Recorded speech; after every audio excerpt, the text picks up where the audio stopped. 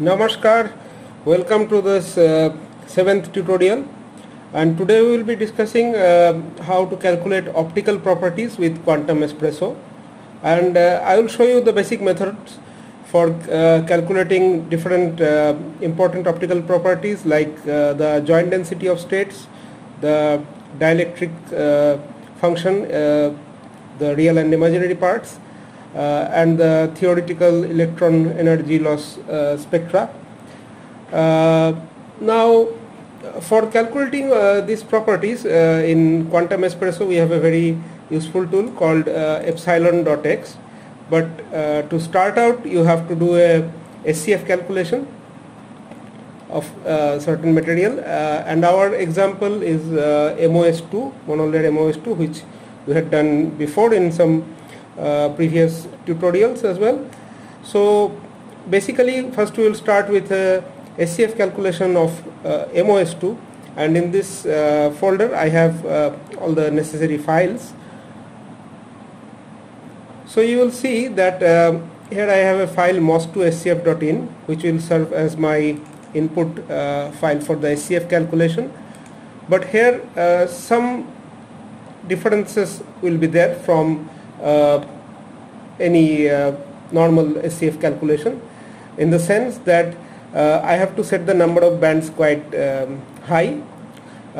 Because I am running this on a desktop computer I am still keeping it very small as compared to what is required for calculating optical spectra. I have just kept it 100 but uh, for uh, converged optical spectra you will need a much higher number. I will uh, discuss that a little while later and second important point uh, you have to uh, use these uh, norm-conserving potentials like pseudo potentials like uh, this PBE, MTFHI uh, for molybdenum and sulfur because uh, certain pseudo potentials some ultra soft pseudo potentials may not work well with the calculation of optical spectra using the epsilon dot x package. Now uh, another very important thing uh, in the input file uh, for the SCF calculation will be that we have to use the K points not in the automatic setting like the Monkhorst-Pack K-grid mesh like where you have three numbers n, n, n and then the shifts B1, B2, B3 but in this format. So uh, this is crystal B format and here we have how many number of K points I'm going to have I'm going to use 4 because uh, this is a hexagonal lattice and I will be doing the sampling uh, around the gamma mk gamma path. So I have it gamma m k and gamma points I have written down and uh, the number of points for each segment. Now that also needs to be um, converged uh, for uh, better uh, output of the spectra but I will just show you because this is a tutorial and uh, you just need to learn the uh, basics here. When you are going to do a uh, full uh, scale uh, calculation for uh, publication or this kind of things you need a much more powerful computer than a normal desktop. So I'll just show you how to do the calculation. It's pretty simple. Uh, like we had done before mos2.scf in. And I can uh, show you the output because I have already uh, calculated and saved the results here because uh, not to make the tutorial too long uh, because this kind of calculation takes some time even with uh, this 100 bands. And for publication and this kind of things you will need to be using a lot more bands. So I'll just uh, let this calculation uh, run. I already have the results saved. So I can show you.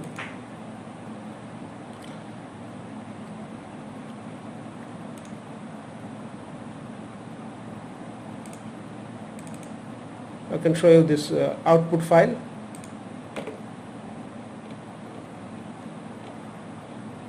so it is a it's uh, right now the calculation is running so what I can do is I'll just stop this one.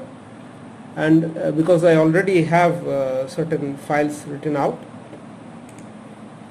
I'll go directly to the calculations uh, with epsilon.x now uh, you have this uh, input files jdos.in so for running with epsilon x you need different kind of uh, uh, files input files for each of the calculations. And uh, this one is for calculating the JDOS. And we have to give the prefix uh, pwscf.a where the output data are saved smear type Gauss this is basically plotting over the energy grid how it is going to plot. Um, then there is uh, the spectra. This is uh, giving us the calculation EPS so EPS this type of calculation stands for uh, your uh, uh, computation of the epsilon i and epsilon r the real and imaginary part of the dielectric spectra. And um, as well as uh, you will get the theoretical EELS uh, from this. So to calculate these properties uh, we need to invoke uh, this epsilon dot x. It comes bundled with quantum espresso so if you have espresso installed it will already be there in your system. And uh, then you have to just give the input. Say first I will do the JDOS once my calculation is uh, SCF calculation is converged I have all the results. Then I will do this. And it will give me some output file. Uh, this is uh, IEEE underflow error. This is just a very simple um, IO error sometimes uh, it can occur on some system but it does not mean that the calculation has uh, not been done correctly.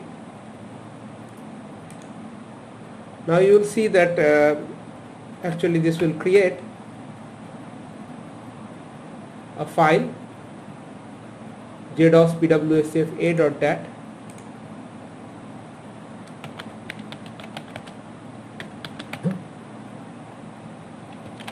and I can plot that file with this xmgrace and I will get something uh, like this. So this is the energy and this is the JDOS in arbitrary units. This is energy in electron volts. So I will uh, get my JDOS plot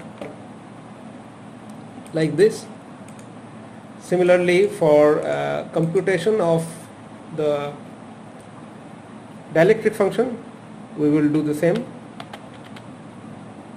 we will invoke this epsilon dot x and I had named it spectra dot in the file. Uh,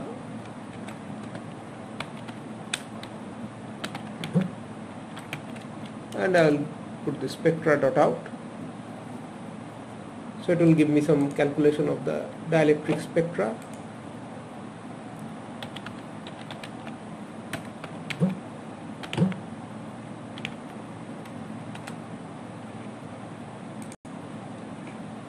this is one of the this is the imaginary part.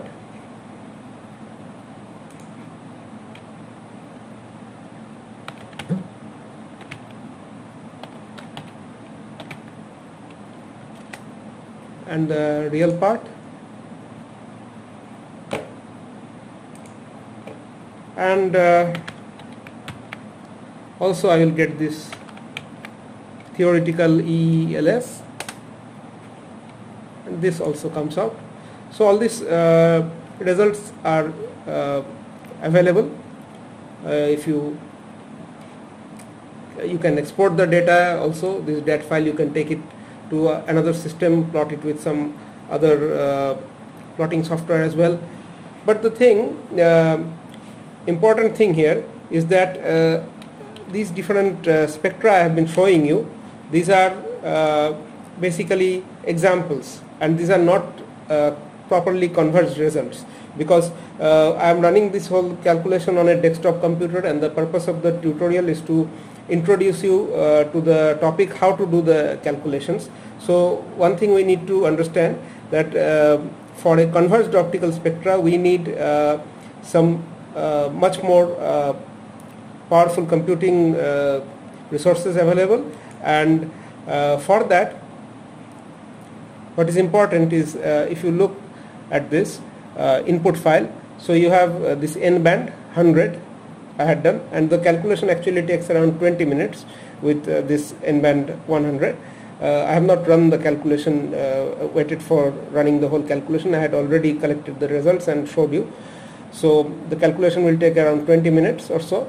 And uh, on on a desktop computer but uh, actually uh, you will be needing much higher than 500 or something even more thousand or some uh, more number of bands. And uh, the interesting thing is that you have to test for the convergence of optical spectra for each material because uh, it will not look uh, uh, always not look like this that it will just drop down after a, uh, certain point it may increase or so you have to increase keep increasing the number of points. The golden rule here is to keep increasing this number of points say by a step of 100 or something like that. And uh, at each step you just uh, look at this uh, epsilon R or any of these uh, outputs and see if uh, there are significant changes in the spectra. And uh, after you have reached a sufficient value uh, then you will see that even increasing the value by 10 50 100 or something like that uh, there will not be any uh, visible changes in the spectra. So then you know that you have reached the convergence. Also um, another important thing would be to increase this number of sampling points uh, for the uh, k points. That would also uh, help you get a better result. And such calculations I am repeating again they will demand more memory much more processing power which is not available on uh, desktop computer. So do not try to increase these values to 500 or 1000 something like that and run on your desktop because it might end up uh, creating some problems in the system. So uh, this is very important.